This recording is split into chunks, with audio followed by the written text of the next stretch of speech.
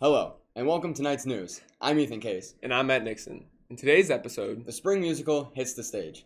seniors begin to prepare the strategies, A bowler reflects on her final season, students look into careers in the trades, and we start thinking about spring break plans.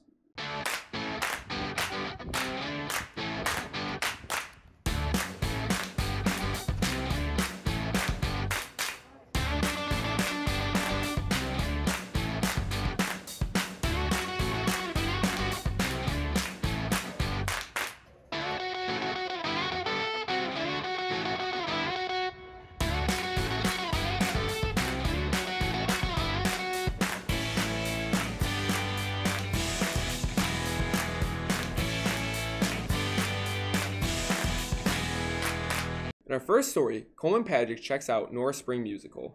You're a Good Man Charlie Brown is Grayslake North's Green Room Theater Company's newest 2022 musical. The show runs through the 10th, the 11th, the 12th, the 17th, the 18th, the 19th, all at 7 p.m.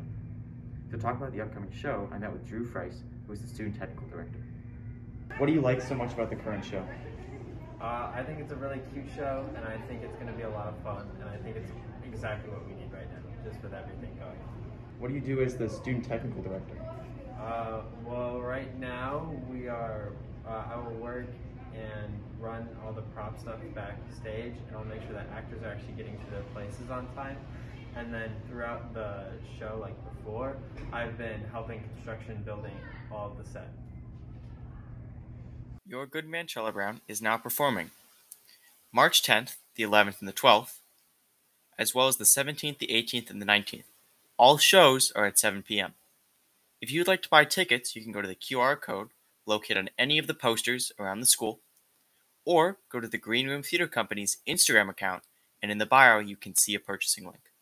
Thanks, Coleman. I've heard it's a great show. Next, get your squirt guns ready as Max Krieger finds about this year's version of Senior Assassin. action, betrayal, and water guns. Today, we will be talking to Peter Meyer about this year's upcoming Senior Assassin. So Senior Assassin is a competitive tradition every year that's hosted by the seniors for the seniors, and it's where everybody is assigned a target, and you have to eliminate them with a water gun. And it's a super fun tradition that we always do, and yeah, that's pretty much it. That sounds wonderful. How do you participate in Senior Assassin? Sign up right now is open. Um, it's been it's being posted around social media. We have a Twitter for it and a website. So if you're interested in finding the link, you can always contact me. Um, if not, there's other people that also have the links as well. That sounds great. When is Senior Assassin? Senior Assassin starts March 14th, and sign up closes at the beginning of March, and then the payment is just due that next week. So around March is uh, when we start. Nice. And the final question is Are there any specific rules that we should know when participating in Senior Assassin? Um, the full list is listed on the website. There's definitely a good amount of things that you will need to know going into it, so I do recommend checking there. But overall, just don't be dumb, be safe, and just have fun. Awesome. Thank you, Peter. Good information, Max. Stay on your toes, everyone. And now we go to Charlotte Schaefer, who talked to Cheryl Jenkins about her last season as a Knights bowler. The winter sports season is now over, which means that bowling is too. The girls' bowling team has had a great season this year, and with its end, it is now the last high school season that seniors will play in. This past season was honestly probably the best season we've had so far. I, first of all, loved the amount of people that we had this season because this was by far our biggest team of my four years here. And I think it's really cool how just over time a lot more people have kind of come to bowling. Um, and overall, I think it was just our best season performance wise, and it really set up like the next four years after I leave because we had so many new freshmen come in that they're going to be an amazing team by the time they're all seniors. Personally, I guess in my own bowling, it's being like more comfortable with missing a shot and being able to come back after like I get a gutter, like um, not beating myself up so much after really bad shots because we all have bad shots. And then I guess also just that we kind of have built the bowling team up a lot. You know, coming in as freshmen, we were like the people at least that I've grown up with since freshman year. We were like five Carols that just came in and no one else did. So just being able to kind of have the bowling team grow and become more of a family has been really, really nice. I know bowling isn't one of like the most popular sports that everyone goes to watch, but it was by far the best decision that I ever made freshman year, and I didn't even make the decision. My mom told me to try out, and it was the best thing I could have done. Like bowling changed my life 100% in the best way. So if you aren't on the team already, even if you are horrible at bowling, like you will grow. It is amazing. I would really join it. And then for the girls on the team, I guess just keep coming back. Like make sure that you're as much of like a family as you are a team because I think that's a really important part of bowling. The one thing everyone always says is that they love our community on the team. So just make sure you keep like growing and fostering that. Even though bowling is over for this year and seniors are going on to do other amazing things, their impact on the team will surely last for years to come. Thanks, Charlotte. Now, Chris Lampman shows that the trades are a great choice for some students after high school. As we get closer to the end of the school year, many seniors are looking at the next chapter of their lives. For many, it will be college in the fall, but for others, it's a much less talked about option. While no path is truly clear and cut, the path into the trades can be much rockier. I was able to sit down and talk with Mrs. Applehands to discuss how the school and the administration can help students through the path into the trades. For many students like myself, the first question was simply, where do I start? I have a button uh, being put on the One Stop Night Shop.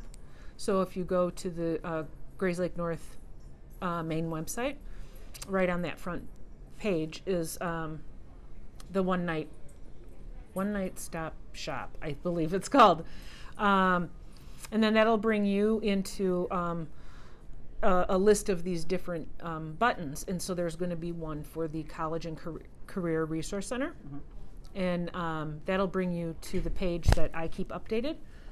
And um, then just to the side, there's like little sub pages. Yeah. And there's going to be one uh, that's career technical and trade school information.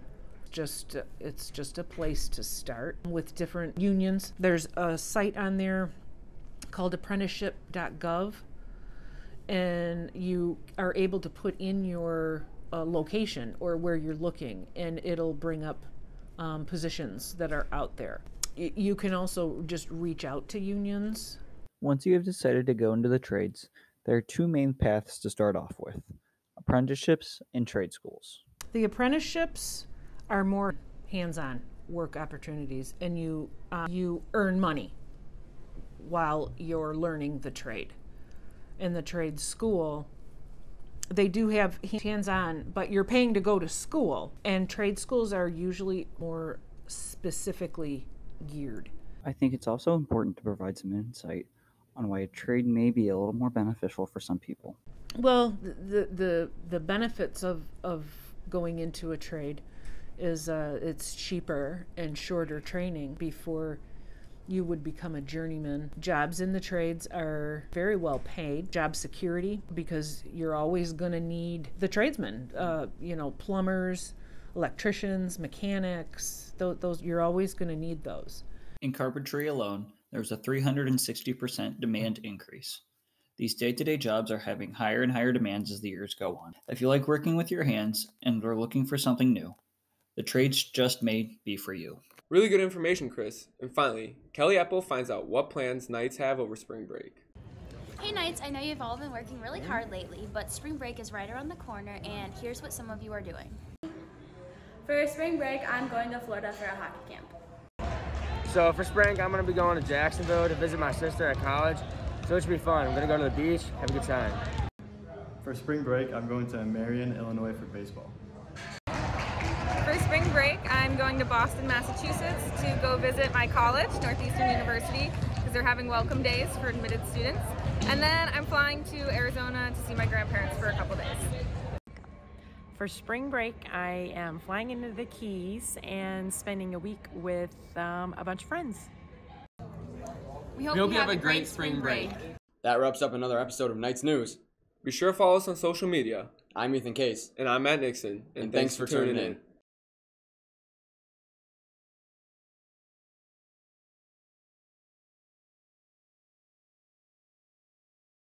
Just go back